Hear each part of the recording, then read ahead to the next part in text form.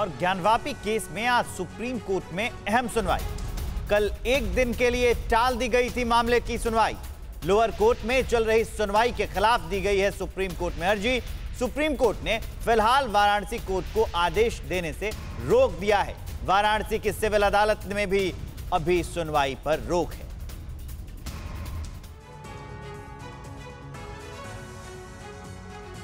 वाराणसी ज्ञान ज्ञानवापी विवाद को लेकर दायर याचिका पर सुप्रीम कोर्ट आज दोपहर तीन बजे सुनवाई करेगा।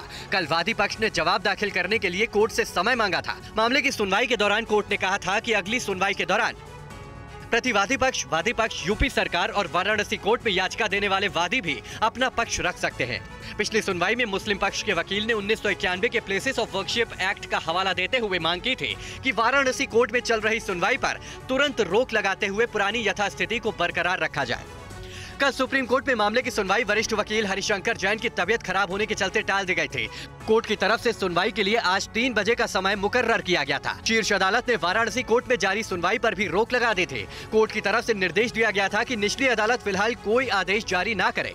देश की सबसे बड़ी अदालत में जिस वक्त इस मामले पर वाराणसी कोर्ट पर रोक लगाई, तब वहाँ सुनवाई जारी ही थी। वाराणसी कोर्ट में तब ज्ञानवापी मस्जिद से जुड़े सर्वे रिपोर्ट पेश की जा रही थी। और ज्ञानवापी विवाद पर इलाहाबाद हाई कोर्ट में सुनवाई चल गई। अब 6 जुलाई को सुबह 10 बजे से यह सुनवाई होगी। केस चलेगा या फिर नहीं, इस पर हाई कोर्ट में सुनवाई होनी है। 31 साल पहले उन्नीस में दाखिल अर्जी पर सुनवाई है ये। एएसआई से खुदाई करवाकर सर्वेक्षण कराने की मांग की गई है इसमें। और केस चलेगा या नहीं, इस पर हाईकोर्ट अब फिर सुनवाई करेगा। 31 साल पहले उन्नीस सौ इक्यानवे में दाखिल अर्जी पर यह सुनवाई होनी है। और 6 जुलाई को सुबह 10 बजे से इस पर सुनवाई होगी।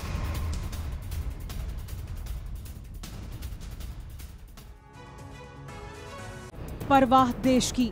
सोमवार से शुक्रवार रात 10 बजे टीवी 9 भारतवर्ष पर।